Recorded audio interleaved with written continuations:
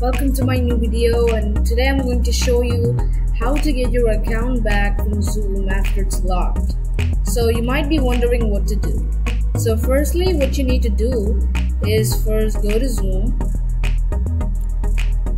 then back. See right now when I log in with my account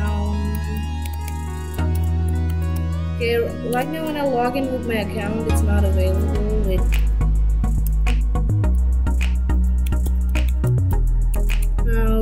As you can see it's not going to be available yet because it has been locked. And now what you need to do just reset your password. So just go to Google or Edge or something with Google and then uh, take and then go to zoom.us take Google and go to zoom.us then you need to click on sign in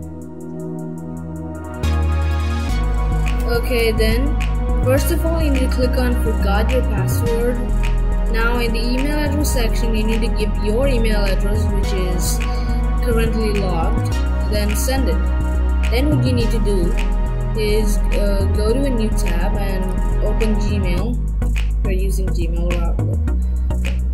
Then, and right now it's loading, so so you see I got the Zoom reset password link right here. Now I'll just click on change your account. Mean, change your password now.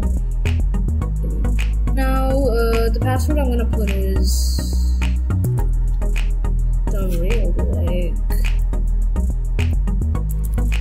so you see after this guys you can get your account back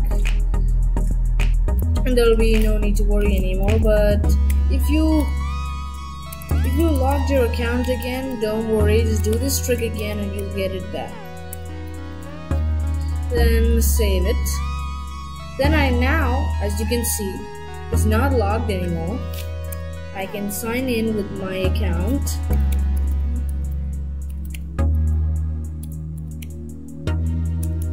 Okay as you can see I'm right now now I can sign in because it's not locked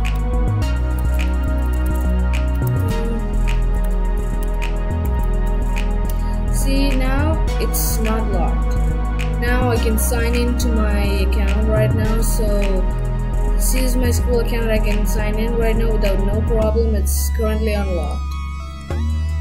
So guys the it is up for today's video and I'm gonna see you in my next video